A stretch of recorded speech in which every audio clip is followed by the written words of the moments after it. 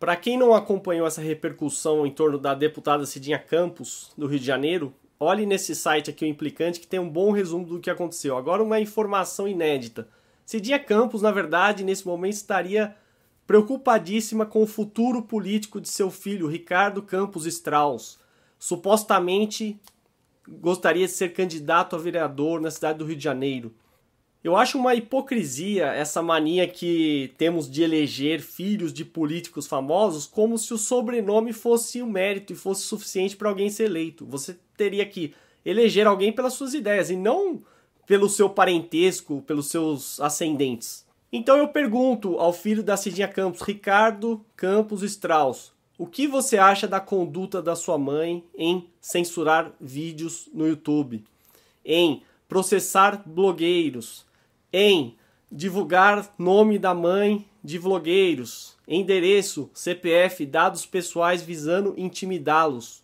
Qual a sua opinião sobre isso? Se você não me responder e eu gostaria de uma resposta pública, eu vou assumir aquela frase: quem cala consente. E eu gostaria também da opinião do presidente do PDT do Rio de Janeiro sobre o que a sua né, representante dentro do seu partido está fazendo. Gostaria do, da opinião do presidente do PDT nacional.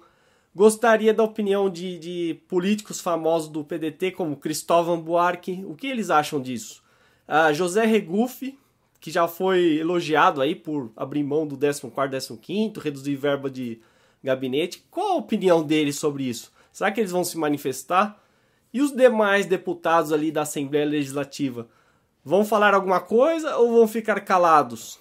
E vejam o mais interessante, uma matéria de 2009, onde Cidinha Campos, preocupada com sua integridade física e de seu filho, Ricardo Campos Strauss, denuncia que o então vereador Girão, lá do, do Rio de Janeiro, estava ameaçando ela de morte. Inclusive, sabiam a, a, sobre o endereço da casa dela, a mansão em Búzios.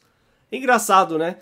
Ela tem direito a pedir proteção ao governo, Sérgio Cabral, tem todas essas regalias. Agora, na hora de contra quem a critica, por exemplo, eu, é rápida em fornecer o endereço, não, não está preocupada com a integridade física de ninguém.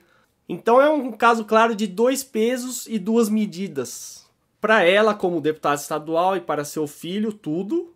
E para o cidadão comum, que não tem privilégio nenhum, não tem imunidade parlamentar, não tem nada, Nada. E eu deixo a pergunta para você que assistiu esse vídeo até aqui. Se você acha que nós pagamos muitos impostos trabalhando cinco meses por ano para sustentar políticos parasitas, vagabundos, como por exemplo Cidinha Campos, para ficar dando showzinho no plenário, ficar gritando, pessoas completamente incapazes de dialogar como adultos com a população.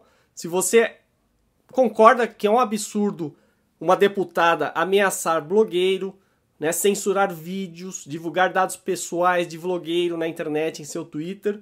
Se você concorda com tudo isso, então, por favor, escreva uma mensagem aqui no Twitter dela, Cidinha Campos, mostrando a sua repulsa. Ela precisa continuar ouvindo. Ela precisa ver quantas pessoas estão protestando contra isso. E, da minha parte, Cidinha Campos, se você cumprir a sua promessa de me processar, deixar claro aqui, eu vou destacar cada mínima etapa desse processo. Ou seja, eu vou assistir o seu suicídio político não de forma rápida, mas de forma agonizante. A causa contra a censura e a favor da liberdade de expressão é uma das causas que eu mais defendo aqui. Já fiz vários vídeos sobre isso. Então, acorde, a ditadura já acabou. A gente vive ou deveria viver numa democracia, não é uma democracia plena. Mas pior ainda com deputados do seu naipe querendo calar a boca do cidadão, em vez de fiscalizar o governo corrupto que está bem debaixo do seu nariz e, e você fica puxando o saco. Então, para que serve o seu mandato, Cidinha Campos?